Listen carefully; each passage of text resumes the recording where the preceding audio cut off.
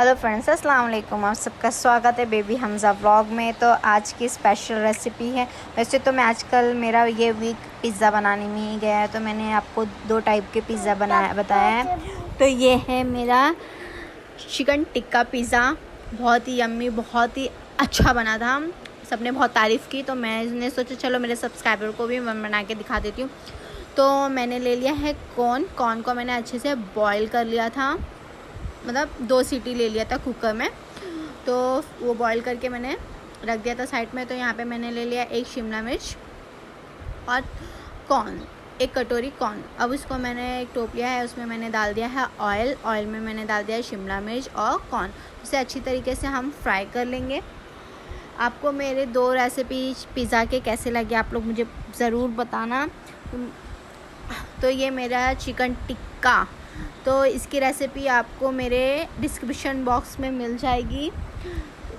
तो इसमें मैंने चिकन टिक्का मसाला है, उसको मैंने चिकन को मसाला लगा के उसको अच्छे से बॉईल कर लिया था, फिर उसके रेशे मैंने कर लिया था।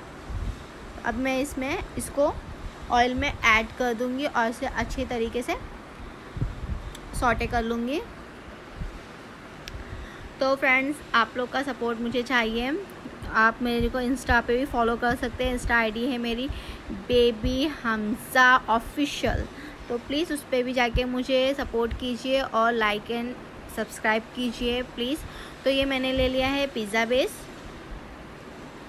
और उस पर मैं लगा रही हूँ बटर मीन्स ऑफ़ मस्का अच्छे से बटर हमें उस पर पूरे बेस पे लगा लेना है, ज़्यादा नहीं थोड़ा सा उससे ये होता है कि थोड़ा सा जो नीचे क्रिस्पी हो जाता है थोड़ा सा और ऊपर थोड़ा सॉफ्ट रहता है तो ज़्यादा टेस्टी लगता है पिज़्ज़ा। तो मैंने इस पर लगा दिया अच्छे से बटर। अब उस पर मैं लगाऊँगी कैचअप।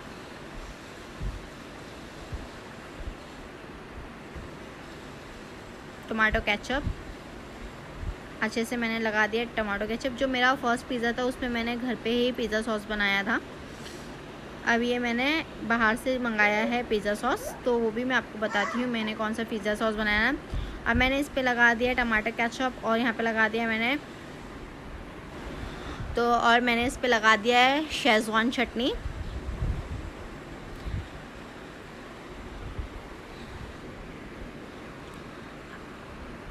अब मैंने इस पर ऐड किया है पिज़्ज़ा सॉस, जो आपके पास अवेलेबल हो। मेरे पास जो अवेलेबल था पिज़्ज़ा सॉस, मैंने वो लगाया है। आपके पास जो पिज़्ज़ा सॉस अवेलेबल होगा, आप वो लगा सकते हैं। फिर हमने जो ये बनाया था मैंने जो स्टफिंग रेडी किया था, वो हम डालेंगे पिज़्ज़ा बेस के ऊपर। तो थोड़ा थोड़ा करके मैंने, ये मैंने स्टफिंग बनाया था टू पिज़्ज़ा रेडी करने के लिए। जो आपको ज़्यादा बनाना है, ज़्यादा पिज़्ज़ाज बनाने हैं तो आपको ज़्यादा स्टफिंग लगेगी। तो आप अपने हिसाब से बना लेना है। ओके तो माशाल्लाह से काफ़ी टेस्टी बहुत ही क्रिस्पी बहुत अच्छा बना था। मुझे तो बहुत पसंद आया और इंशाल्लाह आप लोग को भी ज़रूर पसंद आएगा। तो ये पूरा मैंने स्टफिंग उस पर रख दिया है। अब मैंने ले लिया है तवा। तवा को मैंने स्लो ही फ्लेम पर कोई बटर कोई ऑयल हमको तवे पे नहीं डालना है। उसको वैसे ही थोड़ा स्लो फ्लेम पर चालू कर कर छोड़ देना है। फिर उसके बाद मैंने यहाँ पे डाल दिया है मोजरेला चीज़ यहाँ पे मैंने मोजरेला चीज़ अच्छे से डाल दिया है। आपके पास अगर दूसरी कोई चीज़ होगी तो आप वो भी यूज़ कर सकते हैं।